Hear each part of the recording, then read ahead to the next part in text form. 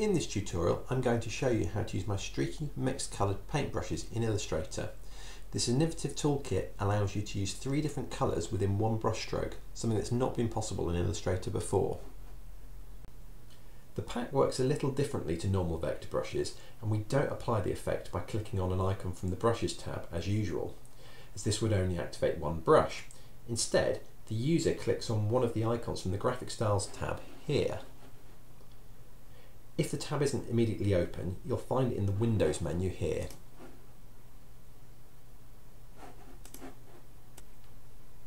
So, to demonstrate, I'm going to draw a line using the pencil tool, like so.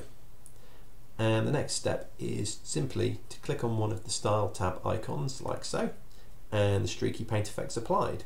If you want to swap it in for one of the other effects, simply just choose another icon and click on it. To change the colours of your paint, you'll need to familiarise yourself with the Appearance tab here. This tab lists all of the attributes you use within your graphic style. If the tab isn't immediately open, you'll find it in the Windows menu here. As you can see, my paint stroke consists of three individual strokes here, all of different colours, and if I knock out the eye icons here, you can see the strokes individually.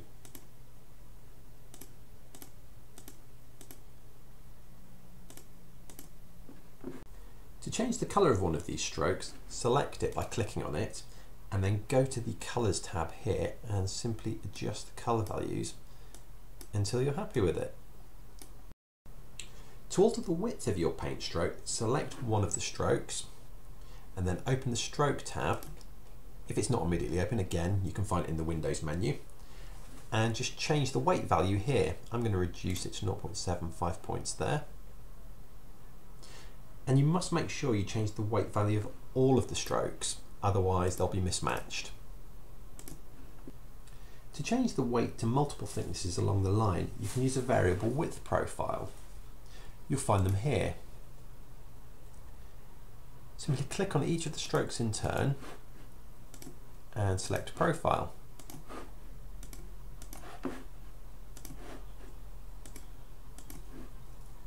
Illustrator has loads of predefined width profiles or you can create your own using the width tool but that's something for another tutorial.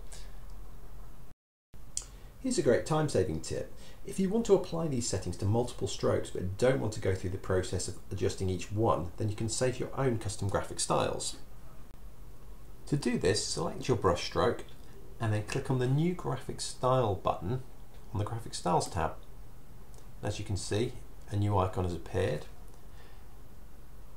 To name your style, double click on the icon and type a name. And then just click OK. Then it's ready there to use when you need to apply it to another brush stroke. And that's how easy it is to create your own multicoloured streaky paint strokes. If you have any questions, please leave a comment. Thanks for watching.